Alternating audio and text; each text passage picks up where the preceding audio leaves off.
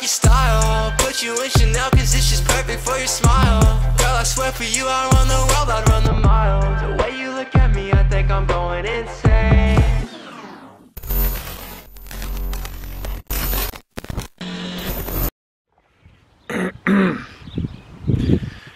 Okay, we meet again.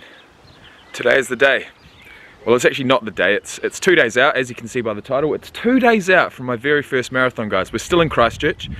I have packed the van, as you can see behind me.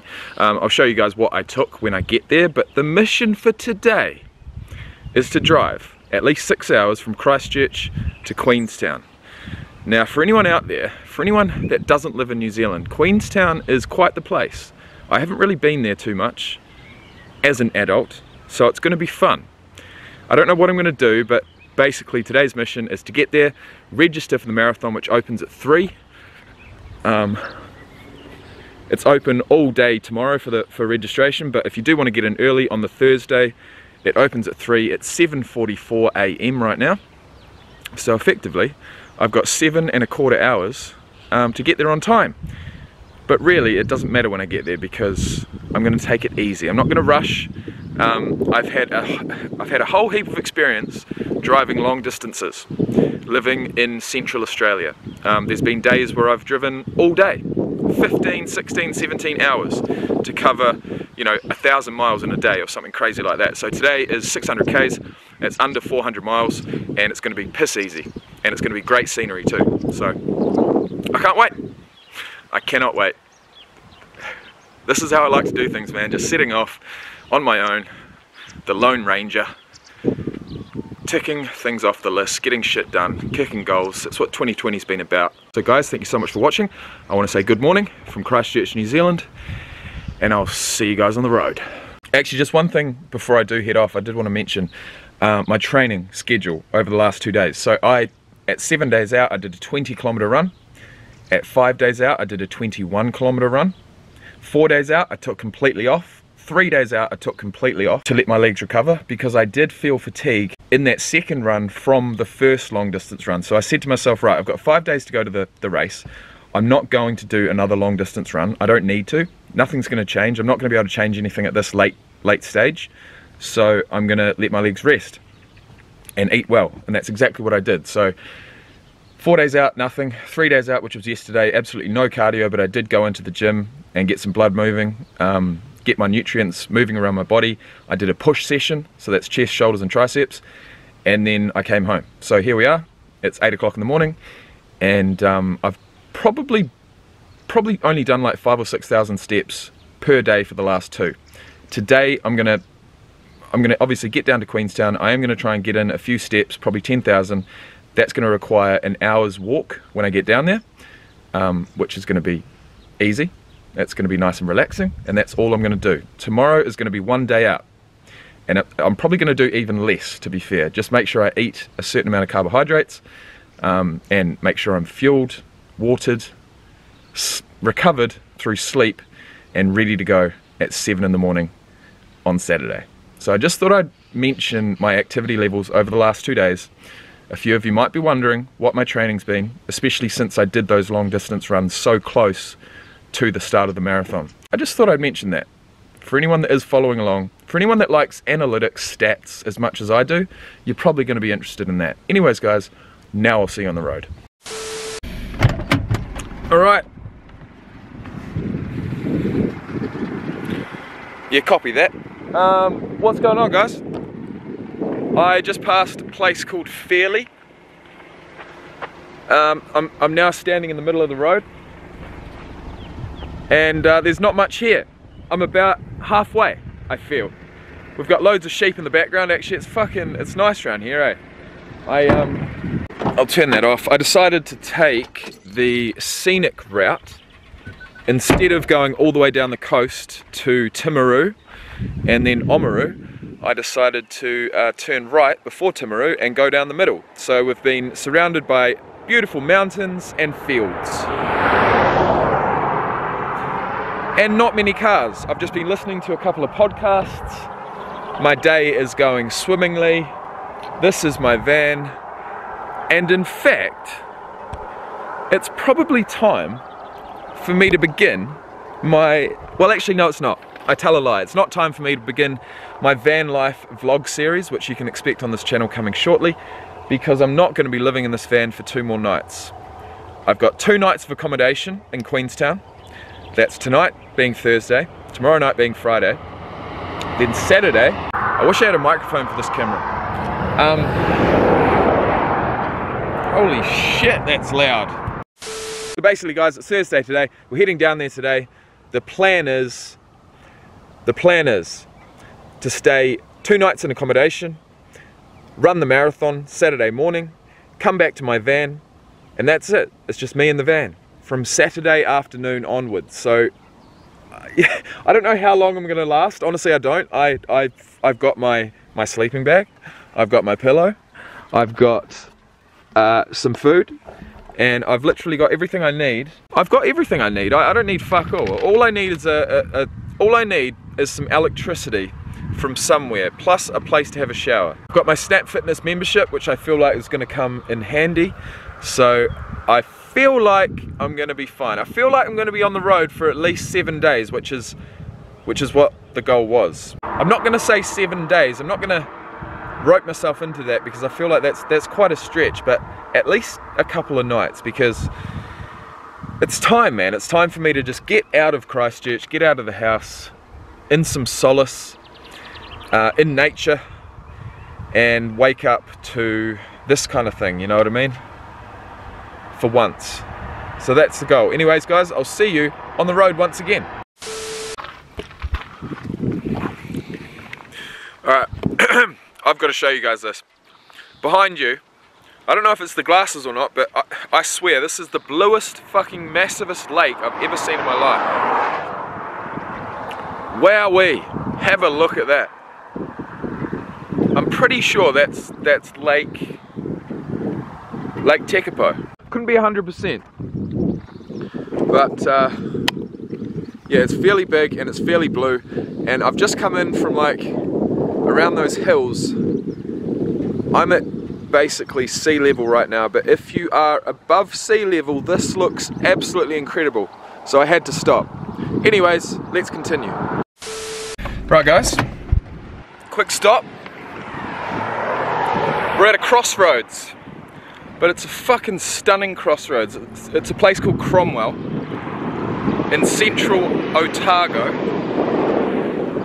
And seriously guys, I have I've wanted to stop and bring out my camera probably a good probably a good 15 20 different times on this trip because the scenery is just absolutely stunning. You know, I, I you know, I'm realizing what people what people say when they when they talk about the scenery of New Zealand, how fucking beautiful it is, especially the South Island.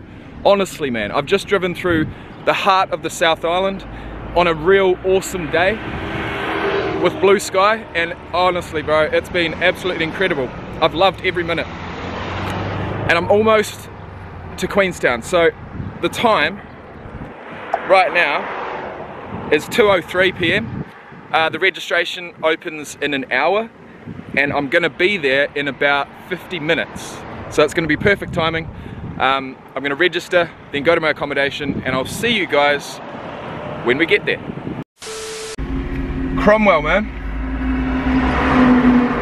Seriously, Cromwell, I have a feeling, I have a feeling that this area, or the sections of land in this area are reasonably priced. I also have a feeling that the usual weather in this area would be rather cold and miserable. But we are coming into summer right now, and on a day like this, in surroundings like this, this is this is nature, man. This is uh this is inspiring. It's it's it's clear. It's clear. It allows me to, to collect my thoughts easily because there's not a lot of shit around me distracting me. It's it's absolutely beautiful.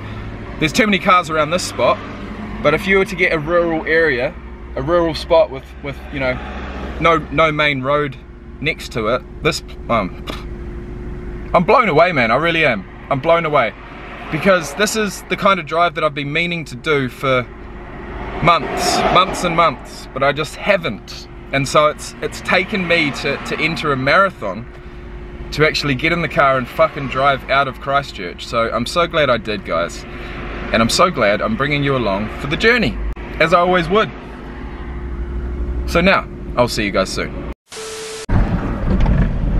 Okay, we have arrived. And Continue straight, then turn left. I'm literally here five minutes before the athlete check-in, so it looks as if, to my left, there are lots of people already lined up. But I feel like being here early is a good thing. So I'm glad I'm here. Hopefully there'll be a park somewhere. Alright, step number one is complete. We're here. We made it to the event location, which is Queenstown, and have a fucking look behind me. Have a look behind me, bro. Look at this shit. Oh mate, what a stunner of a day to get down here. Anyways, uh, time for business. right, uh, we're going to be seeing this each at the exact same time. You and I both. Um, I'm expecting, uh, you know, as I as I come up higher, this looks absolutely epic. Uh, picturesque, you might say. Picture perfect, if you will. Um, and we're going to continue to go up for another 700 meters, and that's where I'm staying, up this road. I cannot get over the scenery around here, man. I just cannot. It is, like I said, picturesque. Anyways, uh, what do we got? 500 meters. 450. 400. I've been looking forward to this for so fucking long. I didn't know where I was going to stay until like a few days ago, but as far as as far as doing a marathon, as far as In 300 meters, your destination will be on the left. on the left, number. Well, I won't say the number, but okay, we're not gonna. I don't know if we're gonna have any views, but as far as the setting, you couldn't get much better. I'm impressed. Alright, I'm just gonna just gonna drive a little closer. Um, guys, I'll, I will say one thing. I will say one thing. Pretty much every single time over the last, I'd say three years that I've travelled, you know, for any for any short-ish length of time, I've always used Airbnb uh, for my way of booking it and uh, and for my way of finding the property and. I tend to enjoy going to someone's house and, and sit and you know using their studio or using their room or using their house while they're away or something like that because you get a better experience and you also usually get get value for money. But I gotta say guys before I go in it's fucking hot here. It's it's hot today I'm not gonna lie but before we go in just between you and me I paid $75 a night for this okay? Just quietly. Um, two nights I haven't been inside yet, but from the outside, it looks absolutely perfect. So let's get inside.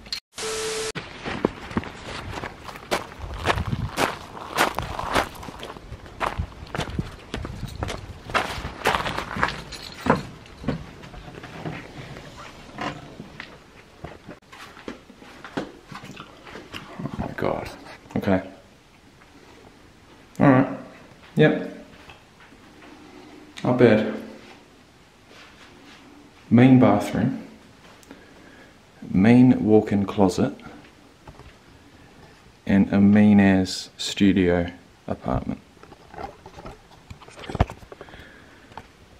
That's all I ever wanted. That's all I ever needed. And I got it. So I'm happy. What I also got is my race number 1702. I got my bus pass to the start line because you wouldn't want to miss that. oh man, imagine if you did. Imagine if you missed the last bus. I think the first one goes at 6:45. The second, the last one goes at 7:25. I've cooled down slightly. I don't know whether it's my red. I don't know whether it's my red top or or my my red face, but my face does look red. Anyways, guys, it's time we look in our competitors pack because I'm excited for that. Makes me feel like a kid on Christmas. In fact, it is nearly Christmas. Right, my friends, welcome. Welcome to Queenstown officially. Welcome to the Queenstown Marathon. Uh, I am competitor number 1702, and that is going to be safety pinned to the front. Not sure what I'm going to wear yet, but I'll work that out. There's snacks. Okay, so this is what it looks like. A little bag. I did get told, I did get told at the registration that because I'm doing the full marathon, I have the ability to drop drinks that I want at the 20 kilometer aid station and the 33 kilometer aid station. If I want specific personalized drinks for me as a competitor as I run past, I can drop them down there and get them cold in my hand as I run past. How good would that be? So I think I'm going to do that. Um, but also, I take down anything I want to take with me to the start line that I want at the finish line. I put in this bag, I've put my number on it, it gets taken to the finish line, and I pick it up. So it's all very efficient, I think, I hope. Um, I probably won't be taking too much um, valuable stuff, but I will be taking this camera right to the start line, and I'll be putting it in this very bag, and I'll be picking it up from the finish line, and letting you guys know exactly how it goes. But that's not for two more days. Anyways,